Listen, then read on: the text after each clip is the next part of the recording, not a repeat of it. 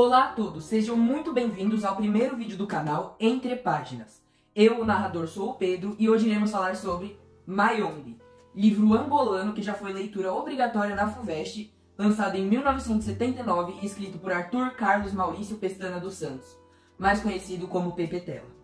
Para você que não sabe, Mayombe narra num geral a história de um grupo de guerrilheiros do Movimento Popular pela Libertação de Angola, o MPLA, durante a Guerra de Independência de Angola, que na época era colônia de Portugal, sendo que a maior parte da trama se passa na floresta que dá nome à obra, a floresta do Mayombe. O que acontece é que na Guerra Fria, tanto os Estados Unidos quanto a União Soviética queriam juntar o máximo de países que aderissem às suas ideologias. E para ambas as nações, mesmo que por motivos diferentes, era muito vantajoso que não só a Angola, mas como vários países africanos fossem independentes. Então, Estados Unidos de um lado e União Soviética do outro resolvem apoiar a Angola nessa jornada de liberdade. Assim, começaram a surgir vários grupos com um mesmo objetivo: tornar Angola livre de Portugal. Porém, esses grupos eram apoiados por países com ideologias e intenções diferentes. Dentre eles, a gente pode citar o próprio MPLA, que tinha uma ideologia marxista e era apoiado pela União Soviética, e também podemos citar a UNITA, que nem aparece na obra, mas é a União Nacional pela Independência Total de Angola, apoiada pelos Estados Unidos. O livro foi escrito após a Guerra de Independência de Angola, que teve início lá em 1961, quando membros do MPLA invadiram cadeias de Luanda para libertar presos políticos, e teve fim lá em 1975, quatro anos antes do lançamento de Mayombe, quando Portugal assinou o Acordo de Alvor. Ah, uma curiosidade muito interessante é que o próprio Pepe Tela participou do MPLA durante a guerra. E foram as suas vivências que o ajudaram e o inspiraram a escrever Mayombe. Eu, o narrador, sou o Luiz, e vou falar um pouco sobre os personagens e o enredo do livro Mayombe. Bom, os personagens, em sua grande maioria, não possuem nomes próprios, e sim substantivos que remetem a alguma característica da personalidade deles ou apenas o cargo que eles exercem. Os personagens são chefe de operações, chefe do depósito, comissário político, Ecuicui, ingratidão do Tuga, Quiluange, Lutamos, Milagre, Moatião, Guamundo Novo, Angakitna, Sem Medo, Teoria, Verdade, Veue, André, Candimba, Leli, Manuela e Ondina.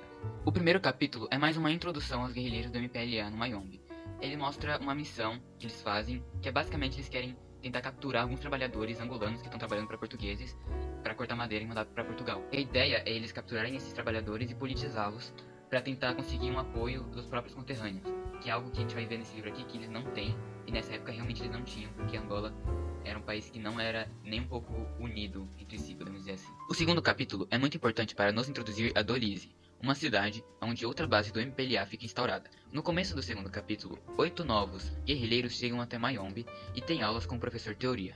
Enquanto isso, o comissário político vai até Dolize em busca de suprimentos, pois a base de Mayombe já está com escassez de suprimentos e os guerrilheiros começam a reclamar de fome. O terceiro capítulo é um pouco difícil de se falar sobre sem dar muitos spoilers de algo um pouco importante, mas eu vou tentar aqui. Basicamente, no começo dele, ele começa com o dirigente André demorando para mandar suprimentos para Mayombe, o que gera uma tensão entre os guerrilheiros, que naquele ponto já estavam famintos, mas enfim a comida chega depois de um tempo. E depois o capítulo se desenrola para falar sobre os problemas amorosos dos guerrilheiros do Mayombe, dando um foco bem maior para Ondina, que é noiva do comissário, e o nome do capítulo. O quarto capítulo poderia ser facilmente um episódio de uma série de comédia. Isso porque se deve a uma grande confusão em cima de absolutamente nada.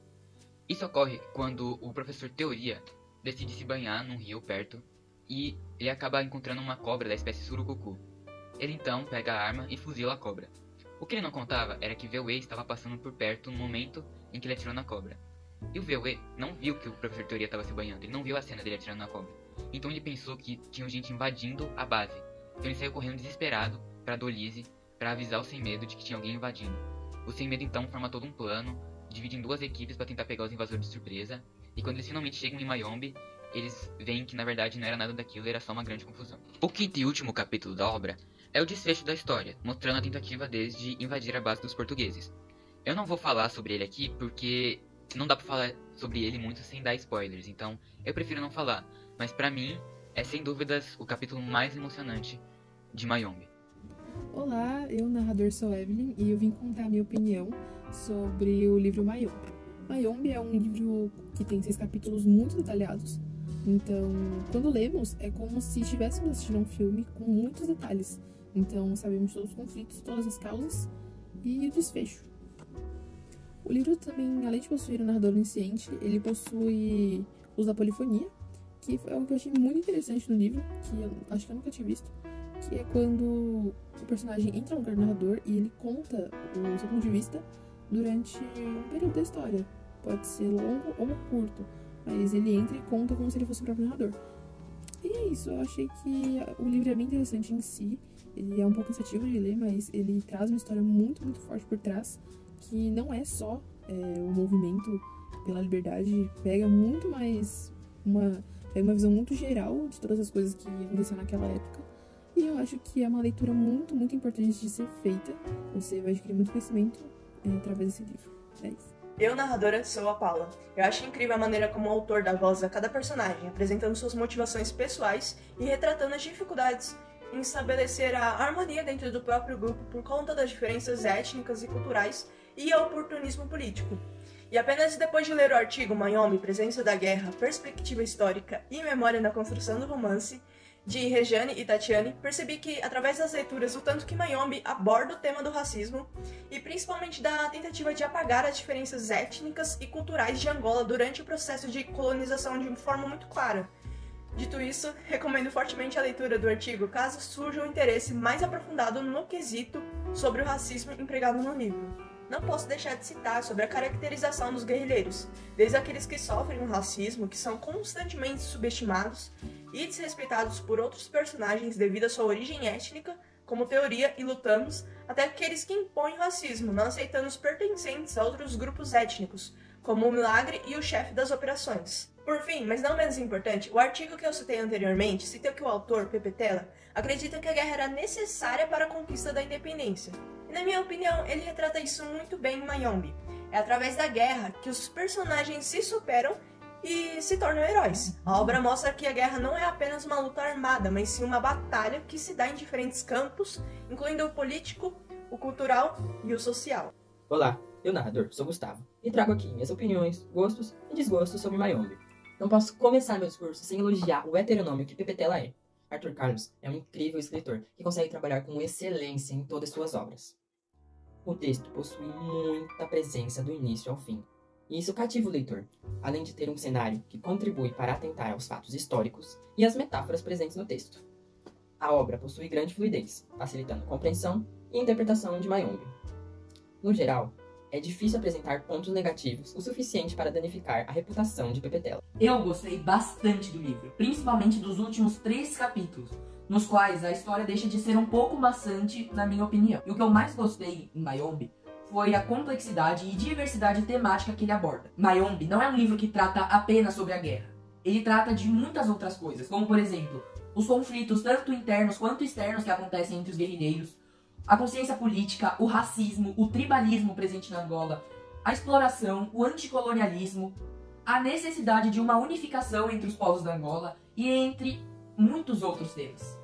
E é essa complexidade temática que torna o livro um livro denso, cheio de significados.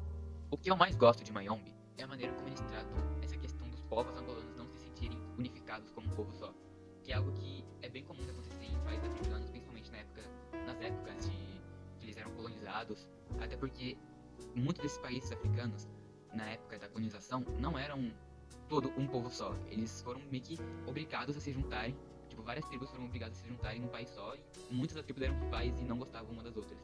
E o livro mostra bastante isso, que eles não se veem como um povo unificado, mesmo que eles tenham a ideia que eles sejam um povo só, ainda existem bastante rivalidades entre pessoas de tribos diferentes. E o comandante Semedo dá pra ver que ele bastante pesava pela unificação dos povos angolanos como uma única pátria.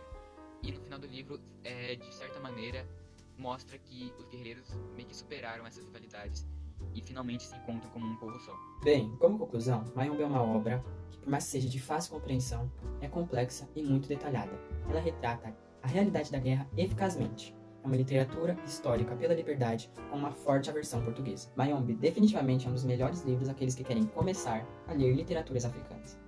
O livro desenvolve personagens humanizados em um cenário onde os obriga a se descaracterizar, se desumanizar, esquecer tudo que você já tem vivido para ser um guerrilheiro, e apenas para ser um guerrilheiro. Por se tratar de uma literatura histórica, Mayumi possui diversas funções, tais como conhecimentos gerais, repertório para redações, satisfação pessoal, além de ter sido leitura obrigatória em alguns vestibulares. Mayombe nos provoca muitas reflexões, e o autor utiliza de diversas metáforas do nosso cotidiano para brutalizar a guerra, com o intuito de aproximar ao máximo o leitor à realidade no qual o livro se passa. Essa obra é uma verdadeira imersão na cultura e na luta de guerrilha que marcaram a história de Angola. No entanto, chegamos ao fim do nosso vídeo. Espero que o conteúdo tenha sido esclarecedor e informativo para todos que chegaram até aqui, e que, acima de tudo, vocês tenham gostado. Se você assistiu até aqui e gostou do nosso vídeo, por favor, deixe seu like, comente o que achou e, se possível, compartilhe com seus amigos. Isso vai nos incentivar a buscar conteúdos incríveis como complementação para nossos futuros vídeos. Mas antes de finalizar, gostaria de citar um trecho da página 191 da editora Leia de 2013. Queremos ser livres, fazer a nossa vontade, e a todo momento arranjamos desculpas para reprimir os nossos desejos. E o pior é que nos convencemos com as nossas próprias desculpas. Deixamos de ser lúcidos, só covardia. É o medo de nos enfrentarmos, é o medo que nos ficou dos tempos em que temíamos Deus, ou o pai ou o professor é sempre o mesmo agente repressivo. Somos uns alienados. O escravo era totalmente alienado. Nós somos piores, porque nos alienamos a nós próprios. Há correntes que já se quebraram, mas continuamos a transportá-las conosco, por medo de as deitarmos fora e depois nos sentirmos nus. Muito obrigada por terem assistido e até breve.